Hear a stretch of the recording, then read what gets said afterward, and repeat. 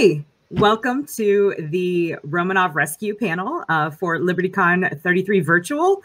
Uh, my name is Kacey Ezell, and I'm super excited to be here to talk to you guys about uh, this book. Um, with me today are my co-authors, um, which sounds really grandiose, like I did most of the work, but I did actually the least of the work, which is why I get to be moderator today. so um, let's, uh, if you guys don't mind, let's start. Um, we'll just start with a quick introduction, um, and we'll start. We'll go Monalisa, then Justin, and then Tom. You can uh, you can finish up. So Monalisa, tell the people who you are. Hi, I'm Monalisa Foster. Okay, sounds good. a little background, Monalisa. oh, are you? She's Monalisa's dealing with a thunderstorm, so she's having a hard time. Oh, is it still uh, bad up there? The yeah, audio's cutting out for me. Okay, we'll come. We'll come back to your introduction, Hillbilly. We'll, you can you can slice that in later.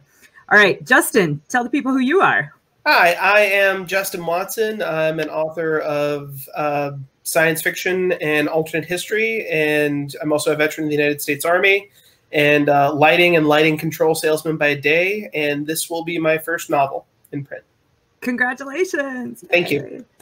All right, Tom, your turn. Tom Kratman, retired infantry officer, uh, recovering attorney, writer for Baen Low these last 15 years, 14, 18 years gone by, something like that. Um, Justin forgot to mention he has a an unusual knack for finding IEDs the hard way. you build one, you build a thousand bridges. No one calls you a bridge builder. Get blown up once, yeah, I got yeah. it. Yeah. yeah, I'm with you. I'm with you. Um, Monalisa, you want to try again for your introduction? Can you hear us? Yeah, thank you. I'm Monalisa Foster. I also write science fiction. Um, I have um, a space opera novel out called Ravages of Honor, and I've been in a whole bunch of anthologies uh, in different genres. Ravages, Great. Well, Ravages is awesome, by the way. Everyone should go buy that. Ravages is awesome. Everyone should go yes, you should all go buy it. Thank you. so, well, so let's talk about um, how we all kind of got involved in this project. Um, and I'm going to go first because it, I just have the mic. So um, I think I came to the project last of the four of us um, because I was talking with Monalisa about your story in um, the in uh what it was one of Chris Kennedy's anthologies, right? For the Night Witches, where we were talking about the the unit of um Slip the bonds, right? Yeah. Yeah, it was it was Slip the Surly Bonds. And it was um, yeah, and you had this incredible idea for this story about these women who um in real history were flying for the Soviet Air, Air Force and and flying like old biplanes and just wreaking havoc on on their German enemies. Um, and uh, and so yeah. you and I were talking about that. Yeah, go ahead, Mona, Monalisa.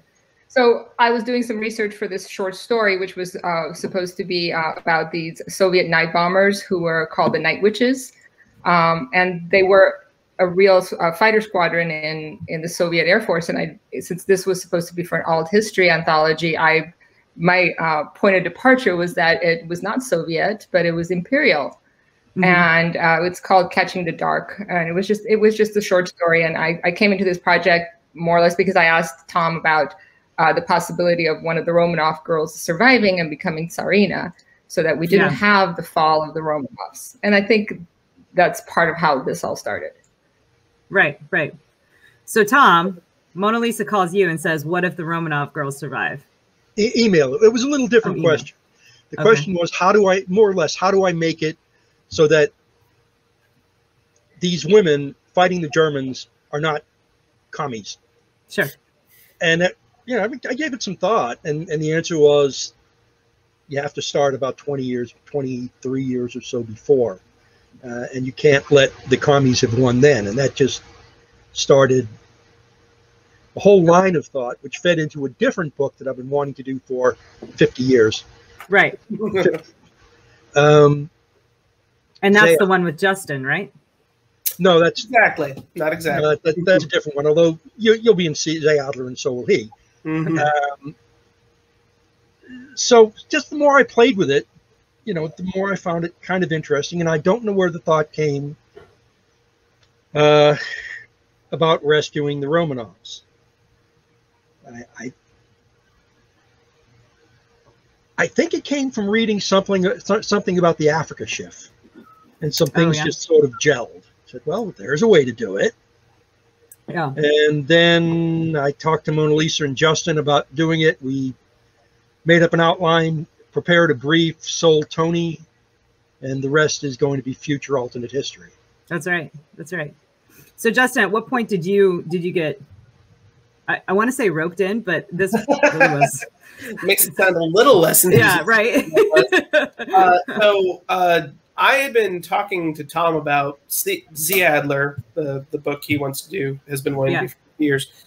Oh gosh, uh, Tom, we may have been having conversations about that on Baen's Bar back in the day. So like, this is something that I've kind of known it, about it was, for a yeah. while. It, it was a regular subject of discussion for years. Yeah, yeah, yeah. So and then um, it came up again. We got to talking in more depth about it after uh, I had con- uh, Mona Lisa, Kacey, and I all contributed to Tom's uh, Terra Nova anthology, uh, and kind of you know help help persuade the boss that uh, you know it, it, teamwork is actually his forte in writing, not not. It isn't. Which seems a funny thing to have to convince an infantry officer of, but anyway. in any event, we're talking about Z Adler, and uh, as as I'm sure uh, Tom will have more commentary on my propensity for this. I tend to take the initial idea, whatever someone has, and say that's incredibly cool. Let's extrapolate that out to absurd lengths, and what would that be like in ten years and fifteen yeah. years after your point of departure? And my my point of entry was kind of like well, that's awesome if World War II veers off in this odd direction. I won't spoil anything what does the Cold War look like after that? And then I had several ideas in a row for short stories set in that world. One of which, actually three of which, uh, I've written and are in those same anthologies we talked about um, from Chris Kennedy. Yeah, uh, yeah. So, and then that that uh, that conversation merged with Monalisa's conversation with Tom, all over two Liberty Cons ago. Um, and then next thing I know, we're a quartet you know, and yep. that's and, and and we're working on this. So that's that's my memory of the event. And then we worked on the. Uh, uh, I put my army staff skills to use for a PowerPoint, and we had a conversation with Tony. And now we're now we're on an alternate history series of grand and epic scale. Indeed, indeed. Um, volumes, if anybody's curious. If by the time we're done, I don't expect to live to see the finish of the last one. Uh, well, I mean, I think you're under contract too, sir. So you know it, it, it's called force majeure. Uh, there's no chance. Bad heart, uh, ever getting let, worse diabetes. I won't be there. Let's. Well, that's depressing. Let's talk about something else. Um, what was your Morgan in every uh, sense of the word? right, right. So so I've worked. So this is not my first foray into alternate history, right? Um, and one of the things that I love most about working in this genre is the opportunities to do like it's basically like a super cool research project, right? In in my opinion, um, but uh, for me, what I got to really dig into uh, during the writing of Romanov Rescue was the um, kind of like how do you operate an, air, an airship right? How do you how does how do you run a crew in a lighter than air environment? And um, and what does that look like? Um, and uh, i like i i genuinely enjoyed digging into that. And tom is probably the best google foo of anyone i know. And he would send me these links to things like um, mm-hmm. you know these old pictures of the crew that i was writing about. And uh, um, schematics of what their what their quarters look like on the uh, you know, on the ship. Um, what about you guys? Like, what was sort of your coolest research moment while we were, you know, while we were putting this thing together? We'll start. Uh, we'll start with Tom since I know he's dying to say it. Coolest research moment. It was it when you set yourself Liberace. on fire? No, that, that was one, but it had to do with Liberace jackhammering Freddie Mercury in the middle of San Francisco. Oh, um, well, here we go. This is a Russian 100 ruble note from about that time period. there's something in the there, there's a, a thread in the book where some people had to blow a safe and i had interpolated how much money was going to be in the safe based on about the size of a us note wrong the russian money's four times bigger and it can only so the safe can only hold about a quarter as much unless i make the safe too big to be moved to where it can be safely blown. That was probably the worst. Um, uh, so my in my uh, the challenge I'll do one up, one down, I guess, or at both just both kind of odd. So the funny thing about the Russian Civil War is, um, it's a very confused time uh, in history.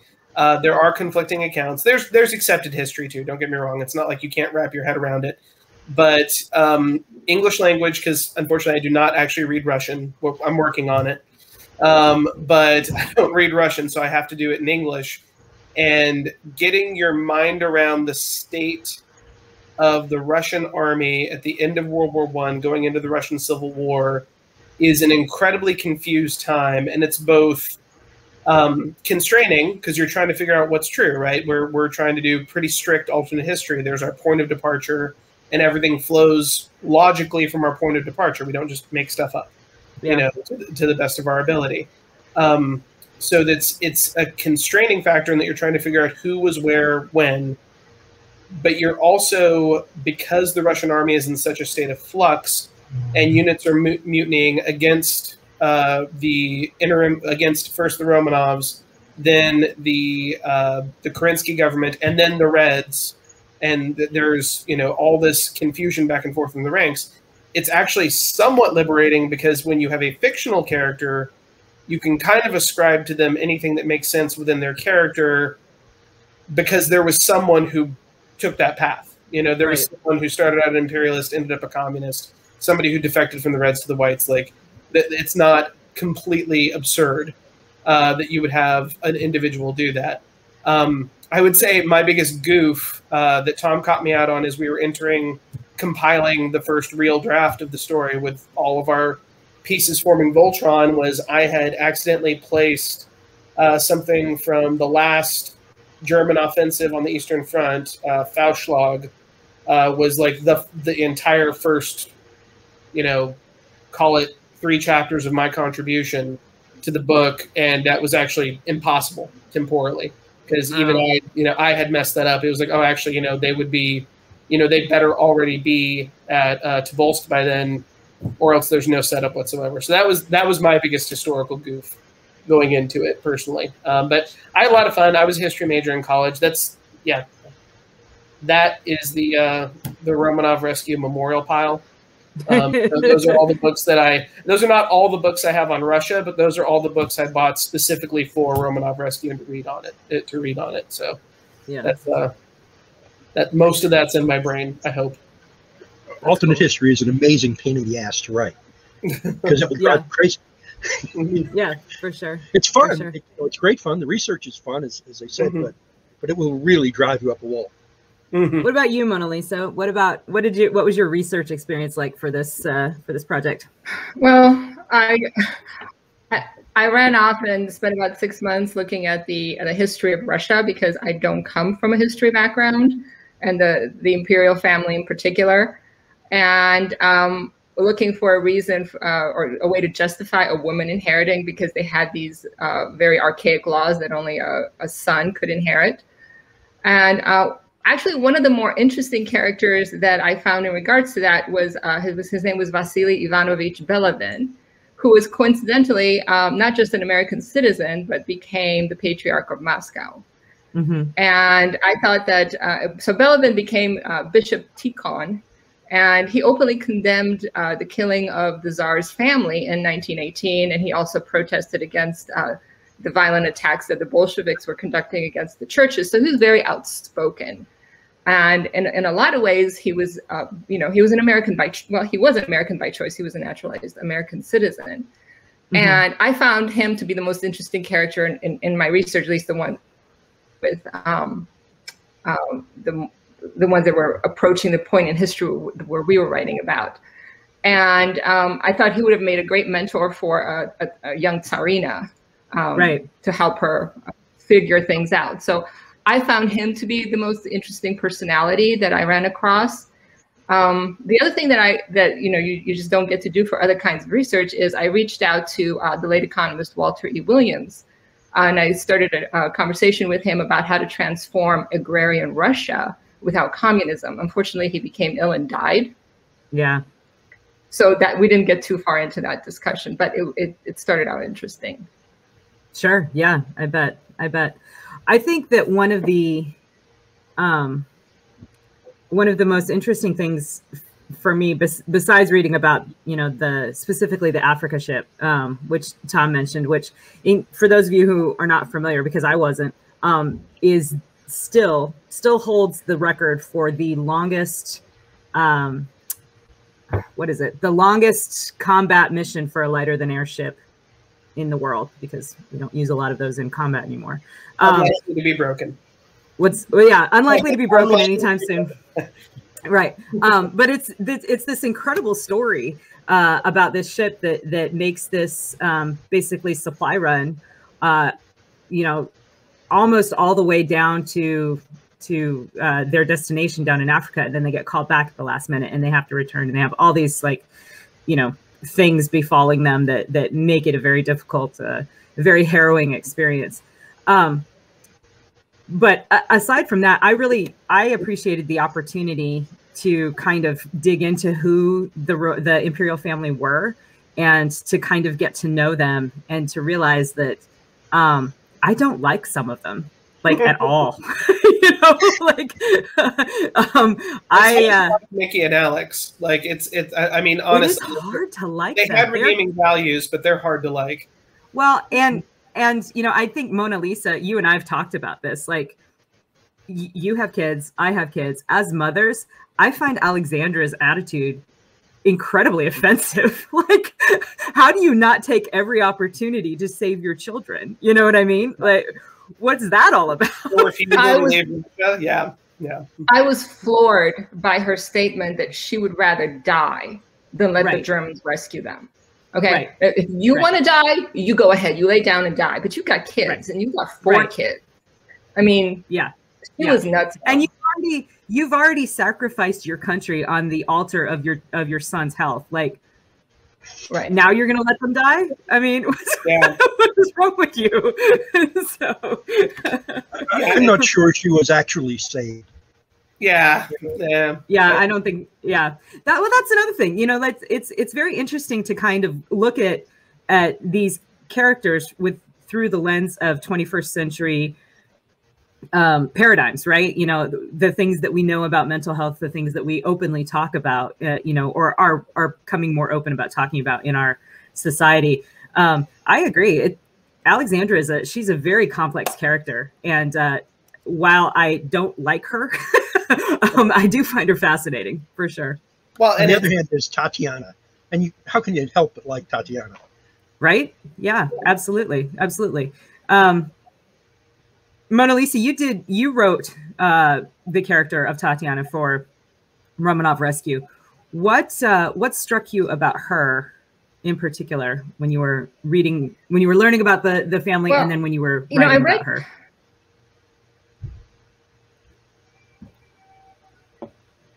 What I read some of the some of the diaries that, that we had access to, and the thing is that they weren't particularly uh, deep in in sense of what her thoughts or opinions were. In fact, they were mostly just dates, you know, who we had lunch with and and so on. It was it's it's not like a, there was a character there whose head I could climb in. So right. I just made her up. Um, I try to put myself in the situation where um, you as as a girl who have no power um, mm-hmm. Are, are, thrust into this situation where all of a sudden you are responsible for your parents' bad decisions, uh, yeah. or you're being held responsible, or you have you know you have you, you're you're going to be made to pay for their bad decisions, and um, trying to shape her as a character that later could become a leader, um, and it's so I just kind of I made her up as I went, um, given you know some of the things that that we were we were told you know t- to write. So um, that that was I mean, it was good in the sense that that I got you know to be able to do that, and I didn't have to try to fit her into a straitjacket uh, that that had been written by history. Right. Yeah. Because So there I wasn't a think- lot of history there to make a straitjacket from. Yeah, I mean, yeah. what you get from the accounts is basically serious, responsible. That She was in that's charge of Yeah, she that's what we charge. seem to have, and Yeah. that's, there's only that's only a few instances in history. There's you're right. There's not like there's not a uh, uh, enhanced biography to go off of. So, and and just so you know, Monalisa, Tatiana, our Tatiana is my favorite character in the book. So Oh, thank you. I thought you did a great job. Thank you. That was an awesome segue, Justin, because I was just about to ask. You're welcome. So- um, okay, so so so Tatiana is your favorite character. What Yeah. who's your favorite character that you wrote, Uh, well, or who do you have the most fun writing? Let's put it that two way. of them. No, um, Chekhov. Chekhov. Yeah? Th- That I wrote. Chekhov's my favorite character. And why is Um, that? Uh, well, so Chekhov is kind of the person Tatiana has to convince. You Mhm. know, ultimately, che- Chekhov is the Russian. Like there are Russians that, as we go forward, Tatiana is just going to have to have killed because they're dedicated Bolsheviks. You know, and that they're just there is no place in the future for them. There are Russians who w- will want Tatiana to succeed simply because she they see her as the rightful heir to the throne, or because they hate communism properly. Chekhov is the guy who has been wronged by the czars, whose family suffered under Romanov rule. Because let's not kid ourselves, the Romanovs were, especially by the time of Nicholas, they were a terrible dynasty. Yeah. Uh, you know that they're in the running for worst monarchs of Europe uh, at that point. Um, so Chekhov is the guy who's legitimately been screwed by the system, and still through both in, just intellectual honesty of what he sees in the Bolsheviks and the bonds he forms with Tatiana and the other Romanov children comes around to do the right thing. Right. Um, and I enjoy that. So from a moralistic standpoint, point, I enjoy that. The other simpler reason is it's kind of my bread and butter is I love writing about soldiers and especially uh, junior enlisted NCOs. Uh, I was a junior officer. I got out as a captain. Uh, so I spent most of my time in the Army still on the line with troops in platoons, companies, or batteries. And uh, and I know Tom is, this is not a unique senti- sentiment to me. Tom has said this many times. Uh, being in a good combat arms unit is magic. Like it is a Mhm. magical experience, and it's one hell of a lot of fun. Uh, and writing Chekhov and his buddy Dostavlov, even the, in the middle of apocalyptic events in Russia, was still it's something that I I enjoy doing. Uh, it resonates with me, and I, I hope people will will feel the the uh, the joy I had in writing it and be able to share in that a bit, uh, Sure. and and you know be able to bond with those characters as well. But yeah, Chekhov and then uh, Dostavlov was the other character I wrote the most of, um, and I, I like them both. But Chekhov's Chekhov was my guy. Like I, I really enjoyed him. Chekhov is my favorite character that that someone else wrote. Oh, Yeah. Yeah. Well, who's your favorite character you wrote then. uh, my favorite one, my favorite one that I wrote was uh, was probably uh, the airship captain, um, Bachholz. Um, he uh, he he just he was a he was an interesting character to write, and and I thought it was an interesting when we put it all together. One of the things that I found cool. Um, and uh, I mean, I'm sure Tom, you know, is like, yeah, dumbass. This is why I had you write the aerial stuff.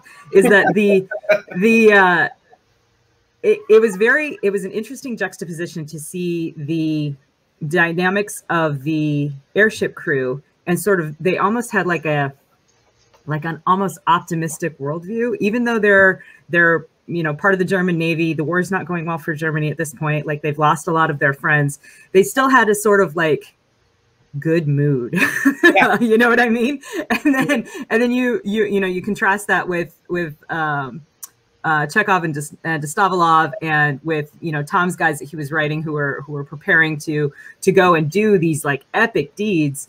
And while they're hopeful, they're not. I wouldn't characterize them as as optimistic as my airship crews. You know what I mean? Um, and They're Russians. They have well, a right, outlook on life. Sure, but they're also but they're also um, ground combatants versus aerial combatants, and there's a difference there. And I thought it was I I was I was more surprised maybe than I should have been, um, but also kind of delighted to see that that reflected there because these guys are for sure air crew. They're well, air crew and they think like air crew because yeah. they were written by air crew. so. And that starts early on, Kacey. I know you. Kacey went to the Air Force Academy. I went to West Point. Yeah. Whenever we escaped West Point, we were, you know, largely headed to a bar to start consuming alcohol.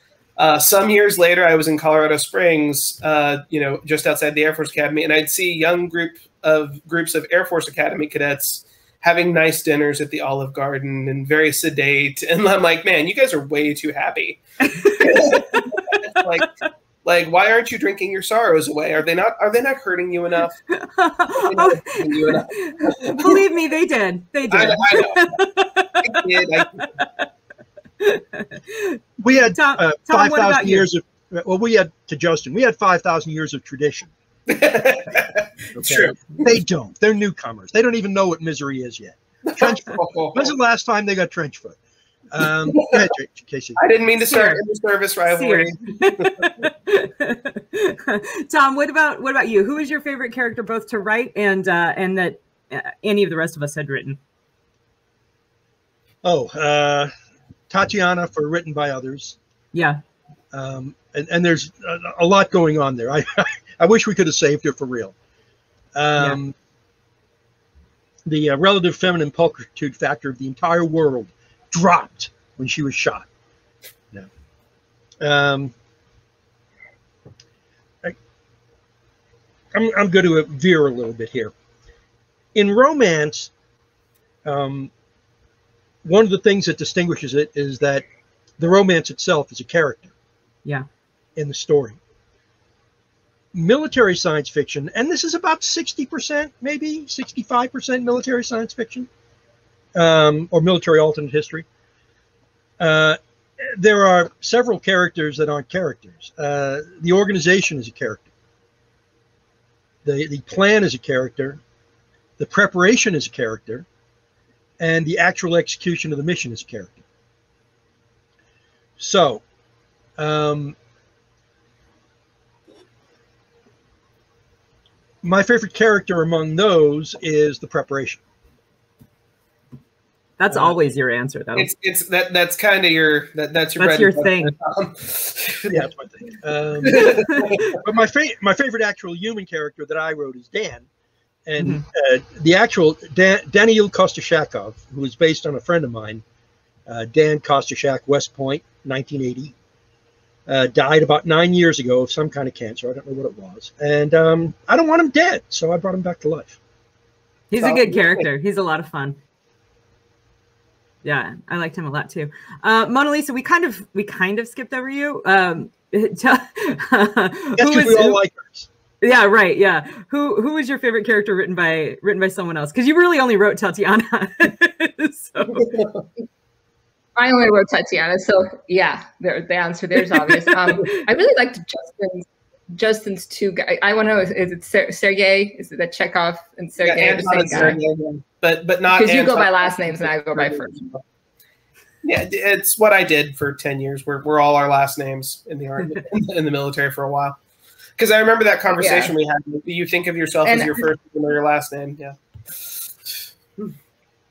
Yeah, that that that was a very interesting conversation.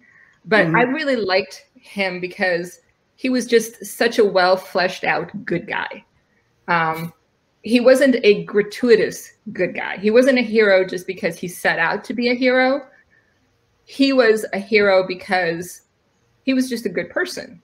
And yeah. um, I really, really liked him as a um, foil for, for Tatiana.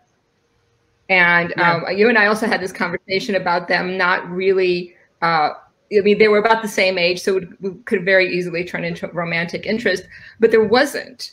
It, that wasn't his motivation at all. It was he was just into doing the right thing, and yeah. I really loved that about the characters you wrote. Yeah. Me know, which is weird you, from somebody who's actually a romance writer, right? But yes, I did like the reasons I liked him. Well, we have you, we have romantic subplots in in the story. It's not like they're not there, but I just didn't think that Tati. I agree with you. I don't think Tatiana and Chekhov it wasn't really a romantic ever meant to be a romantic subplot. And and yeah like chekhov is his his angst comes from the fact that you're right. He his mom and dad like he got a moral compass along the way despite everything that's happened to him. And he lives in a world where that's incredibly inconvenient.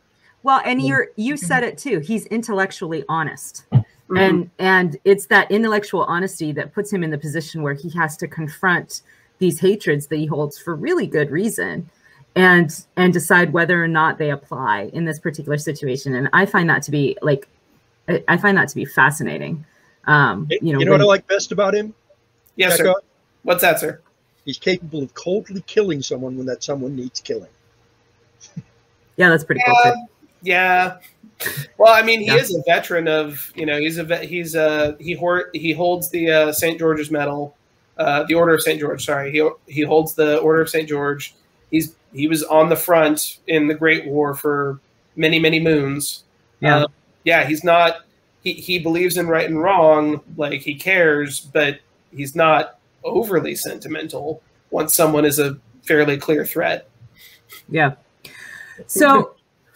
I want to shift gears just a little bit. And Tom, you you alluded to or flat out stated this earlier when you said 19 books. Um, let you know without without giving spoilers as best we can, where do we see this going? And uh, we'll we'll start with you, Tom. Where where do you see this going? Or tell give the give the people a hint as to where we're going with all this. I'll, I'll, I'll give a pretty good hint. Um, four volumes at least of the Russian Civil War and final restoration of peace. Then at least a couple of volumes of the rise of the Nazis and a couple more of the fixing of Russia. You know, without Stalinist collectivization, um, turning Russia. Russia was on the road to becoming a, a, a first class power by 1914. It had something to do with why the Germans were sort of eager for war uh, to take them out while they still could, um, but turn Russia into a non communist power. Some advantages uh, people won't have. No Lysenkoism is a biggie. Yeah. Um, but also no 10 million slaves laboring in Siberia for resources either. So, you know, it'll be a little plus, a little minus. Um, the Nazis are still going to rise because even if there's no money coming from the uh, from the Kremlin, a lot of Russian commies will have escaped to Germany. So that won't change anything, um, and that will terrify the Germans, who will support Hitler. Uh, from there, uh, World War II probably won't do much with Poland, won't do much with France, but we'll do Zeadler. And then several volumes, a couple anyway, of the Soviet, of the German invasion of Russia. Um, and we're going to have to build in some realistic problems because without Stalin and the purges, the Russian army should be better than the Red Army was. Uh, we, we, have some ideas along those lines.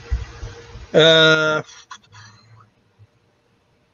shift over to the Pacific, um, we will never have gotten in, into an undeclared war with Germany because the UK will have sued for peace in 1940. So everything that we gave to um, to the UK and Australia too, for that matter, to keep them in the war is available to be used for our own war. And there's only one war we've got on the horizon at that, that point in time, Japan and specifically the Philippines. So we're going to have a really nice time defending the Philippines. Um, that war being over, we go into a Cold War and an eventual hot war with Nazi Europe. So having, fun times, fun yeah, times on the horizon. Um, on like we don't have, I wouldn't call it an outline, uh, but having like a vague roadmap of that, like this I think we have it out to about the early 70s. Not yeah. nothing's concrete. Obviously, we still are. We're very flexible based on where the stories go, but um, yeah, no, there's a lot to unpack there, and it's it's all very exciting. Uh, I love World War One. I. I love World War Two. I'm really looking forward to Cold War because uh, as an, an 80s and 90s kid, like my childhood was the end of the Cold War. Um, I don't miss communists, but they were a really good bad guy. They were. They were. Um, there's a, a lot of opportunity here to really fuck with the 60s, uh, with the, the left of the 60s. You know, when Abbie Hoffman and, and Jerry, what's his name, um, are working for the Nazis. You know, I mean, they work for the com the commies. Why? Because they were enemies of, of America. They'll do mm-hmm. the same thing with the Nazis. Doesn't matter if they're Jewish. Yeah. Well, the Nazis are going to have all those wonderful social programs, and you know. Yes, they will. Yeah. And maybe so me... will, will see to creating uh, to re- making Israel. Mm-hmm. Guys, I'm I'm sorry to interrupt, but Monalisa's um, in the middle of a lightning storm right now, so yeah. uh, she's gonna have to go. But thank you so much for joining us, Mona Lisa. Bye.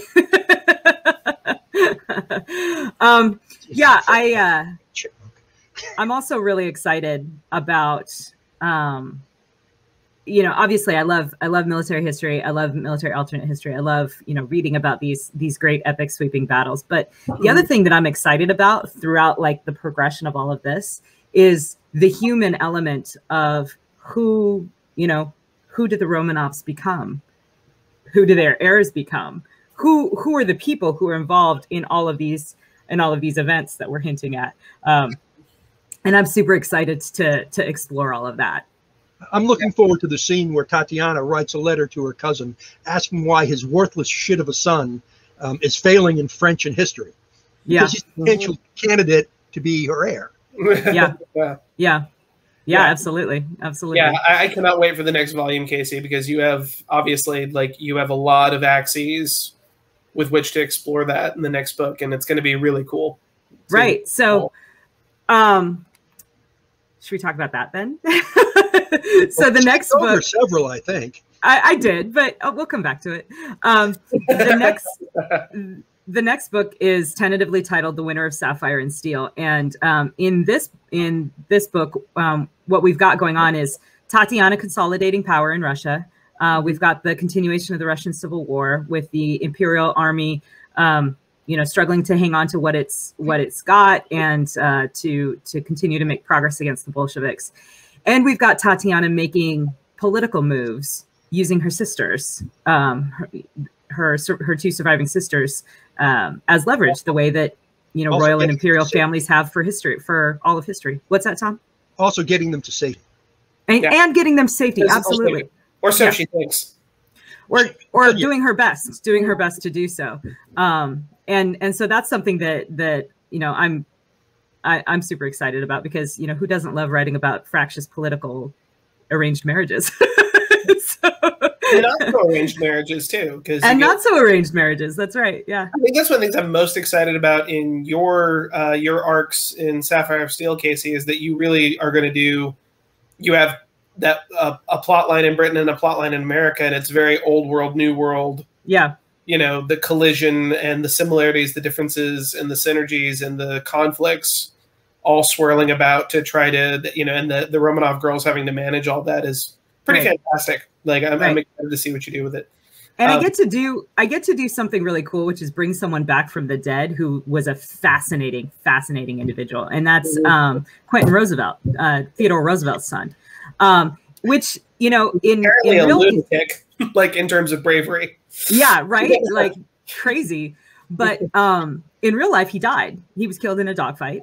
Um, but we brought him back, and, and we were able to do so because um, Tom figured out this this you know sequence of events that would result in him not being ambushed in a dogfight, you know, as happened in real life. Yeah, so well, that mm-hmm. that kind of brings me to um, to another point I, I wanted to discuss, which is when we're writing alternate history, how do we decide what stays and what goes? Um, and I'm I'm going to start with Justin on this one because Tom, I know you have a lot to say, and I want to finish on you. So, what about you, Justin? When we're writing alternate history, how do you decide what stays from real history and what goes? Well, for for this, it's collaborative, right? To a certain yeah. extent. If you're going to make any kind of major historical pivot, we're going to talk about it, and and Tom's the senior partner, so he does get the final say. You know, if if it doesn't if it doesn't track, he does get to override. But he, you know I, it, what I would say is the first principle is flow logically from the point of departure. Yeah. You know, that, that's the first principle. Second principle is due diligence for you know what what was there and what wasn't in terms of like is it you know could, could we posit um, more or less naval construction on the part of the United States or Japan based on our World War One and Russian Civil War turning out somewhat differently.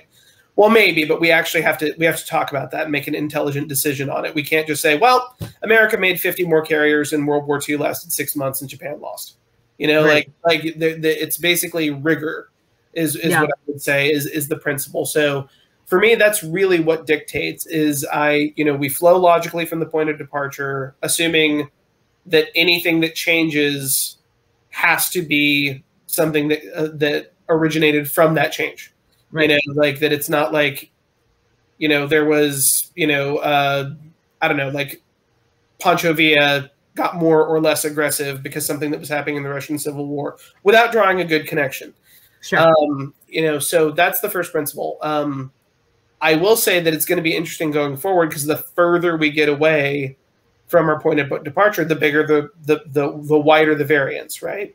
Um, there's still a lot of research to do, but like there's a lot of things that can happen you know, if yeah. we write a 19 plus volume series, as we, you know, we have the steam to do, um, if these if these books do well enough, um, there's a lot of knock-on effects, and there's a lot of things that we're going to be, you know, making educated estimates on, uh, because yeah. it could have gone wildly differently uh, based on who was where when. You know, we're not doing, you know, the most maybe the the most famous and common.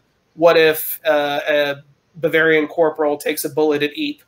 You know, right. like you know, we're not doing that one, but like that in the future, you know, there are plenty of people who are risking their lives in World War II who were pivotal in the Cold War. You know, one of those guys gets blown away, or one of those guys lives, or gals, right. uh, in some cases lives, then you know they're available or they're not for future mm-hmm. events. So, um, yeah. it's really just you know trying to make sure this the the spaghetti that sticks to the wall is the best spaghetti and it makes sense. And I think one of my favorite things about this whole process has been some of the conversations that we have where we have this mm-hmm. realization like, oh shit. If we mm-hmm. don't, we, the United States, don't go to war in Europe, then we, the United States, don't have Operation Paperclip. That means yeah. we, the United States, don't have Wernher von Braun. Yep. Right? What does that mean for our space program? what does yeah. that mean for our nuclear weapons? Yeah. You know, yeah. all of those postulations. I think those have been some of my favorite part of this whole. Process. Yeah, and we don't benefit from the heavy water war efforts, right? right. you know, like, or we may yeah. benefit from the, the heavy water. You know, like, there's a lot of stuff that's very makes it a lot makes the the 50s and 60s a lot more interesting. Um, Hundred percent. Yeah, yeah. Well, Tom, what get, about you? We're going to get well. Let me address that, and then I will. Please. Uh, we're going to get nukes first because we're the, the Brits are going to do go out of their way before they knuckle under to send everything Tube Alloys has to us. Sure. Um, along with their radar research, et cetera, et cetera. So we'll have proximity shells. We'll have nukes first. And we the talked Germans, about the concept of a of a, a free British government in exile too. Right. Either yeah. up in Canada or down in one of the islands. Yeah. Um, along with a good deal of the Royal Navy defecting to us. Uh, which is going to be important because Pearl Harbor is not going to happen exactly the same way as it did. Yeah. Um, von Braun was copy, copying Goddard to a good de- degree. I, I think we'll catch up. Um, and the Germans had some peculiar ways of doing scientific research. They were very poor in terms of instruments to measure things at the time. What they had was a bunch of oh imagine 30 junior scientists standing around with notepads writing down everything that they observed very quickly. Mm-hmm. that was really how they did it. Mm-hmm. so now um, what was your question the, the original question again? Exactly. How do you how do you decide what stays and what goes from real history when writing alternate history? Oh um, well you start with your point of departure yeah. You made one change. In this case, our change is from something very trivial indeed. Uh, a German officer decided to take a, a, different turn on his nightly walk. Um, an important German officer. Uh, after that, you know, well, would it still have happened this way? I mean, you, you basically put it through a bunch of filters. Would it still have happened this way? Sure. Yes. Uh, for example, will the Treaty of Brest-Litovsk still kick off uh, bringing Russia out of the war? Yes, because Hoffman is keeping the Africa ship project um, very secret. It's, mm-hmm. it's all basically done in his back pocket. Mm-hmm. So nothing's going to change in terms of peace between between Russia and the U.S. If we shift over to the uh, to the Western Front, is anything going to change? No, because what Hoffman drew for this rescue effort was trivial. Mm-hmm. Um, as we go on, some things are, you know, like some material things are going to stay the same. The Russians aren't going to have T 34s in 1922. Um, you know, they may not have T 34s at all. We're, we're going to have to go down the list of every senior engineer involved in Soviet weapons development mm-hmm. and make a judgment call of, okay, would he have seen the writing on the walls and gone with Tati early enough? Mm-hmm. Would he not have? You know, uh, will Dan see the Fedorov, probably the first assault rifle in history, and decide, yeah, that's a great idea. Let's do that. You know, Mhm. maybe he will. Maybe he won't. We'll have Sure. to make a judgment call on each of those. Um, you know, can we change things around the margins the way we saved Quentin? hmm you know, yeah, we can we can make a you know just just because we can change history there. We've got a, a credible way to do it that flows reasonably well Yeah. from the um, from the point of departure. Mhm. Uh, do we make we can make junior characters and then promote them but we probably can't pull a field marshal out of our ass who didn't exist Sure. sure. Yeah. Yeah, Uh, that makes sense. So what I'm hearing you both say, and and this is, you know, I agree. Um, it, it just comes back to the basic, the first basic principle of of writing fiction, right? Like you've you've got to make it believable for the reader, even if they know it didn't happen. Yeah. Yeah, even if they know it didn't happen that way, it, it's Mhm. got to be logical. It's got to it's got to flow and it's got to follow, and it's got to be hopefully entertaining. Um, and uh, uh, I I I've really enjoyed. I think I was entertained writing this, so I think the people are really gonna really gonna enjoy it. Um, the other thing I wanted to talk about is uh, let's take a minute and appreciate the gorgeous cover art that Baen has sourced for us. Um, Definitely. I think we can get a I think we can get a, a flash of that up on the screen here. But um, yeah, there it is. Uh, how cool is this cover, guys? you know, it, I mean, it, it's an, an eight or nine hundred foot long penis. It has to appeal to some audience. I mean, you know, Baen is known for the Baen is known for the TNA covers. I, I feel like a little equal time is appropriate, right? Am I right? It's entirely appropriate. Uh, I'm reminded of. Uh, I'm such a Heinlein fanboy. I read uh, "Grumbles from the Grave," and there was a letter from his editor to his agent back to Heinlein about in the juvenile book Space Cadet, the silver rockets thrusting against the velvety blue sky was too phallic. Um, that just put me in mind of that. Uh, he, got a, he got a note from his editor on that one, so yeah, just- that's funny. that that cover put me in a put me in mind of Heinlein, which is never Absolutely. um, um, we've only got a, a few minutes left, but um, I did want to, because I know people always ask this whenever I've done collaborations, and I've done quite a few of them. Let's talk a little bit about our process. Like, how did we take all of these parts and and kind of put them together? Uh, and I'm going to direct this at Justin first, because at least in my head, you were kind of the the chief cat herder of this group. so Well, it depends on how you define it. Like, um, uh, I was maybe the feather smoother and uh, you know re- referee. I guess I don't know what you want to call it. So, uh, leaving aside the crying and the screaming and the recriminations, I'd say it was very much a. Uh, we had an outline to go off of, um, Yeah. which I blithely ignored. No, I, I, I'm sorry, that that's not quite true. I I oh, took you ignored it willfully and deliberately. Yes, it wasn't blithe at all. I took with extreme prejudice. sure. I took the initiative. Um, but no, we uh, it really was a matter of um, you know each of us. I think each of us gave more than could fit in the book, and that gave Tom a great problem. I'm going to say for him before he gets a chance to contradict me. uh, gave Tom a great problem of having too much good shit to fit in a few hundred pages. Uh, Yeah. Between what I wrote, what you wrote, Monalisa, and I was definitely like to be clear, I was the most guilty party. Um, way, way yeah. Oh god, I I was terrible. Um, I, I, it was good shit. It was good shit. Thank you. Thank you. It, it was, and with some editing, it could be worked into a collection of Mhm. shorts Yeah. to accompany the book. You know, the, the series Yeah, later. I- I- I- and to be clear, like when I sent it in, I, I said I was like, I realize we're going to have to cut a lot of this, but I had to write it like for my, for me and and to get settled into Chekhov and Dostoevlov, I, I had to write that stuff. I knew a lot of it was not going to go in the book. Like I understood it was going to be a, a discussion of no, Justin, you can't keep that, or that, or that either. you know, like you really have Yeah. to distill this down because it's not your book, your third chair. Like, you know, I mean, it is my book. Clearly, I, my my name's on the cover with you guys, but um, you know, I was not supposed to. I, I was the I was the tight end making a block, not the halfback carrying the ball.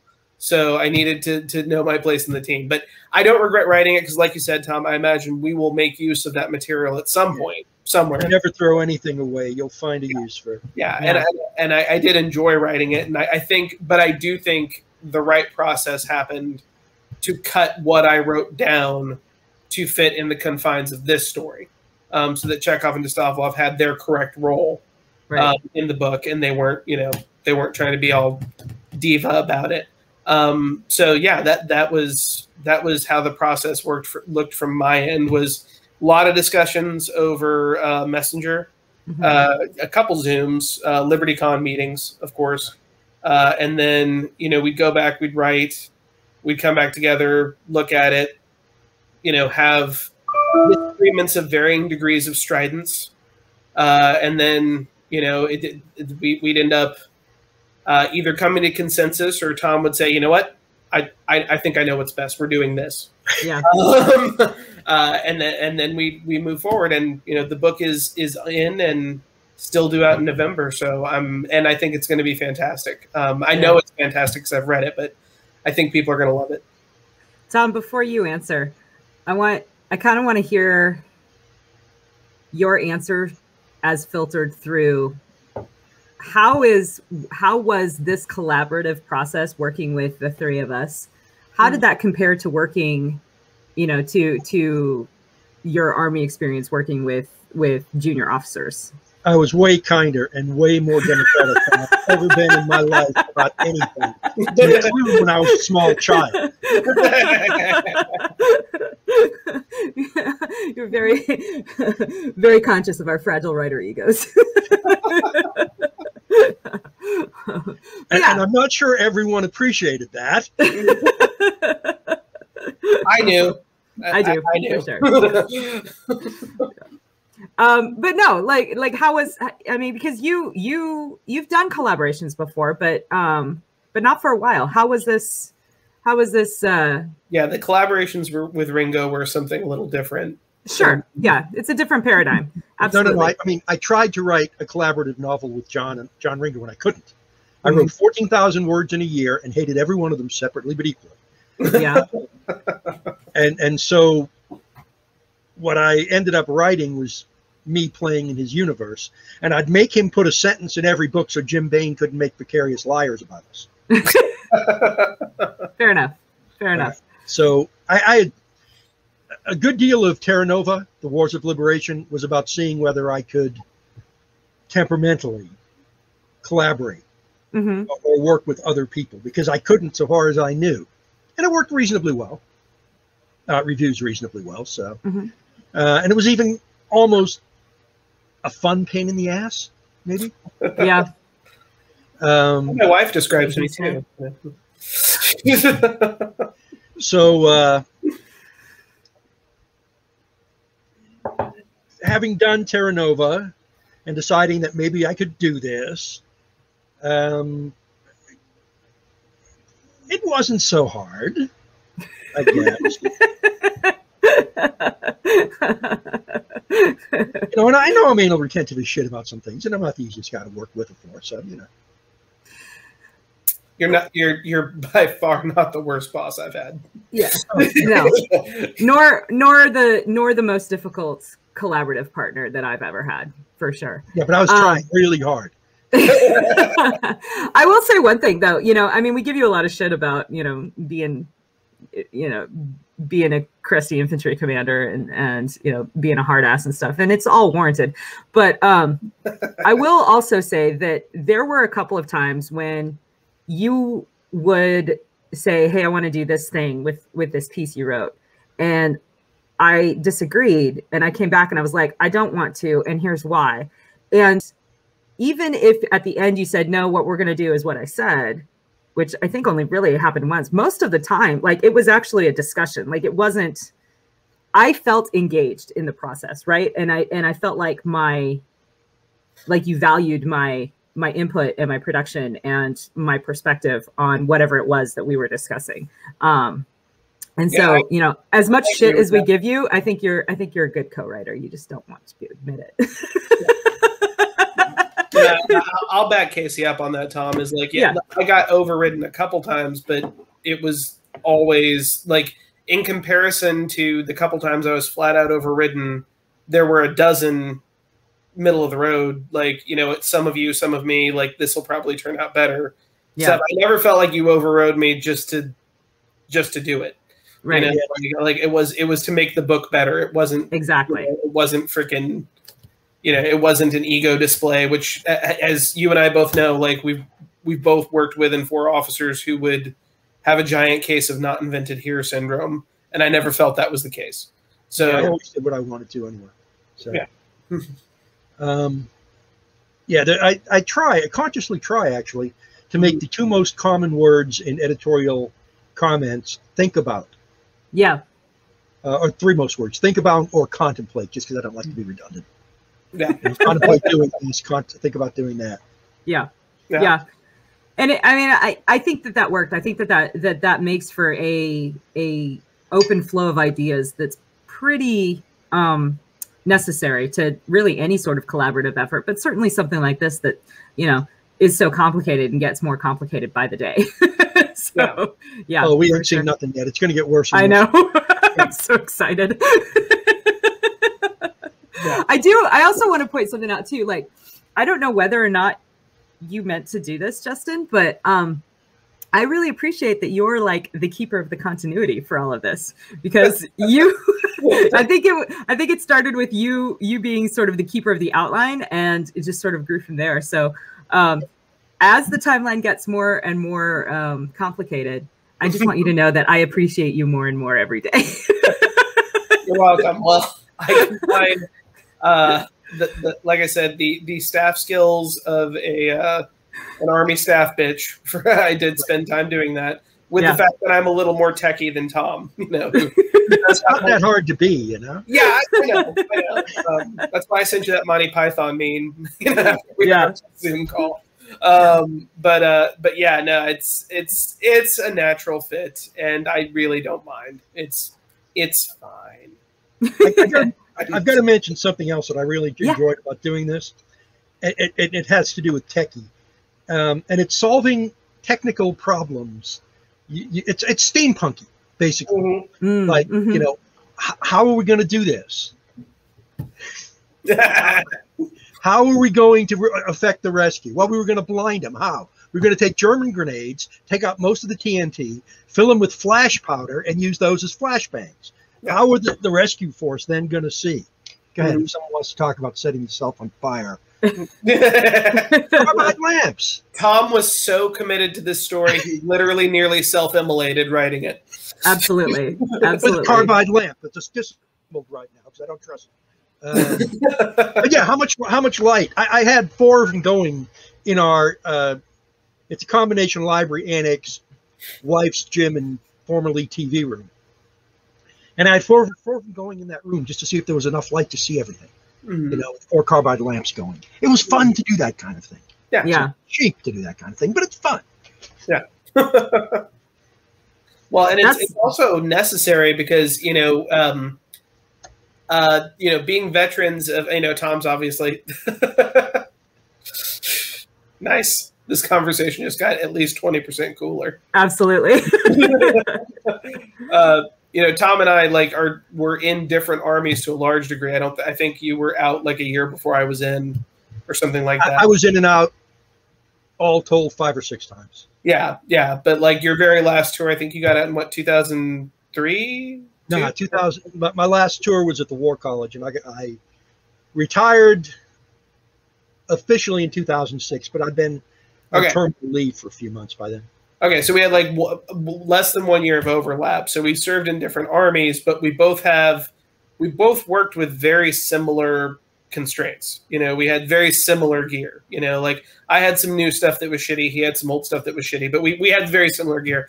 You know, to think about stuff that we both know at least I I know at least conceptually. I was not an infantryman by trade, but you know, I went. You know, we we kicked down doors in Iraq all the time um, and everything was in the city. So I like clearing a room is something basically any meeting at meat eating MOS in the army did for several years in the army before we got back to our actual jobs. Uh, in our case, the cannons. Um, so to figure out how they would do it in 1914 or 1918 in this case, when that wasn't the presumption. Obviously, they'd been fighting in cities, but there wasn't. They didn't operate under the same set of assumptions. They didn't have the same gear. They didn't have radios in backpacks for infantry units to keep contact with each other outside of visual range easily. They had messengers wire and signal flares. Yeah, exactly. So all the constraints that, you know, we don't even think of, and then all the things that are drilled into us about noise and light discipline or keep your finger off the goddamn trigger or things like that that are, you know, so drilled into modern soldiers that, you know, it's it's second nature, you know, but you see pictures of dudes in World War One with their their hand over the muzzle of their rifle, you know, hardened combat weapons and you you want to have apopl- apoplexy from it because you're like Jesus Christ, like don't point the gun at anything you don't want to shoot. Um, but it's just that's that's us several generations hence Mhm. knowing, hey, don't walk on the road, spread out into a V, you know, like you know, like all the things that from the time you're 18 on, you're it's drilled into your head, don't do. And yeah, no, that that was terribly interesting. Uh, and Tom, we talked about how like these guys are, you know, now we don't know if Russia how much use Russia will make of it, but they now have the preeminent hostage rescue force in the world um, by default. Just because they lose, you know. Yeah. Yeah, yeah. Well, Yeah. but still, you know, like even Yeah. given that, name a more high profile, high risk, uh, more tactically complex hostage rescue that happened that before that date. I can't think of one.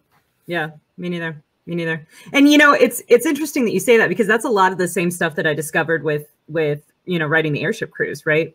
Uh, it, there, the, the ways in which we conduct combat aviation. Now, granted, this is a generalization because you know it varies by weapon system, but the ways in which we conduct combat aviation operate under a certain set of assumptions, and a lot of those assumptions have to do with things like radar and um, Night the vision. ability night vision right? Uh the ability to contact home station right? Communications stuff like that. None of that they didn't have you know they didn't have any of that stuff right? Mhm. and uh um and in fact that's that's one of the major major plot points of the real life story of the africa ship was was degraded communications based on what they had available. So um really cool stuff really interesting stuff guys we're about out of time um so i i want to wrap this up but um i kind of want to give everyone the opportunity to do um, a last word uh so justin you first what's the last thing you want these people to remember about this panel from you Go. Uh, this was a very intense, very fun, very hard fought book. You know, Mhm. like this was not a casual foray. in many ways into the genre. You know, we we we this was blood, sweat, and tears in a good way. You know, like um, you've heard Tom talk about the lengths to which he would go for research. The fact that that Russian money is four times the dimension of American money changed an entire major salient plot point of the book. Like, if you're a history nerd like me, um, and especially if you love Tom Kratman's signature, uh, here's how you train for uh, sequences, uh, and just really universal themes of valor, sacrifice, um, anti-communism. Uh, if if you're if any of that appeals to you, I encourage you to pick it up and give it a try. I think it's a great book. Uh, I can't wait to see what everyone thinks about it. Um, yeah, that, that's what I've got. well said tom forward to the Russian reaction. I um, will, I will be very interested in in what the Russians' reaction. I hope they enjoy it because there's a lot to admire about the Russian people. Um, that they've really gotten screwed. By the way, I, I feel like I have to mention we had a Russian helping us. um, former Russian army, former Russian cop, I believe, uh, Rostislav Mokrenko. And, you know, like, Rostislav, I'm trying to find the power plant in Tobolsk. you know? Yeah. And he comes back five minutes later. It's about 300 meters north of the governor's house. Oh, okay. Yeah. Yeah, that was super, super useful.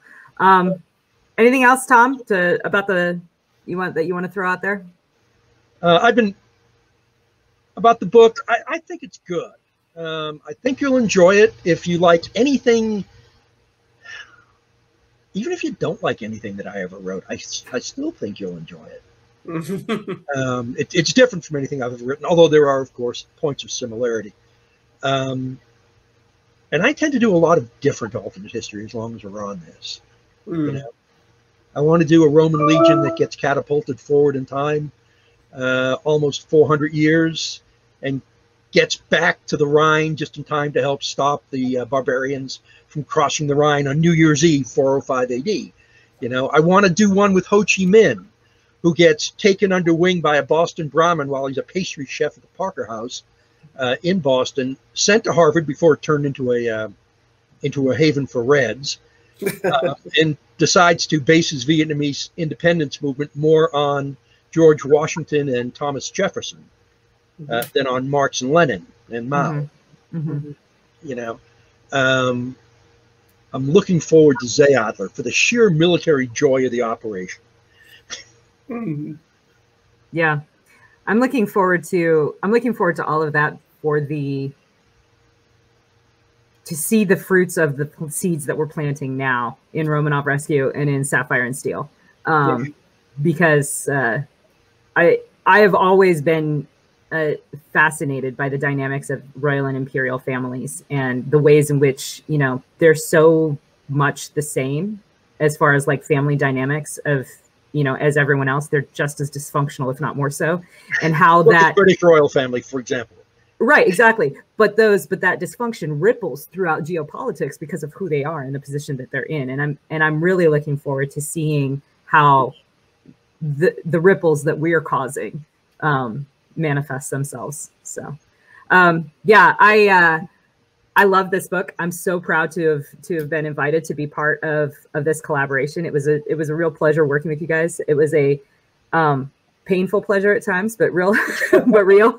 and uh, um, um, yeah, I just uh, I think people are really gonna like this. So um, thank you guys. Thanks everyone out there in LibertyCon for hanging out with us uh, for the last hour or so. Uh, we hope you give uh, uh, give us a shot. Pick up the Romanov Rescue. We're it's uh, slated to come out November second, I believe. Um, and uh, yeah, uh, um, if we could get another shot of the cover up there, um, let you guys look at that beautiful phallic artwork one more time. And uh, Available for pre-order now. uh, yeah, it is. It's uh, you can get it in in eARC now too. So, um, all right. Thank you so much. Uh, once again, my name's Kacey It, it can't be out in and, New uh, already, is it? No, it's on Amazon for pre-order. Sorry. oh, sorry, pre-order, not a, not Yeah, eARC. yeah, I yeah, it's, it's pre-order on Pre-order Amazon and months. Barnes and Noble and stuff, but no, the eARC's not ready yet. not yet, um, but soon, soon.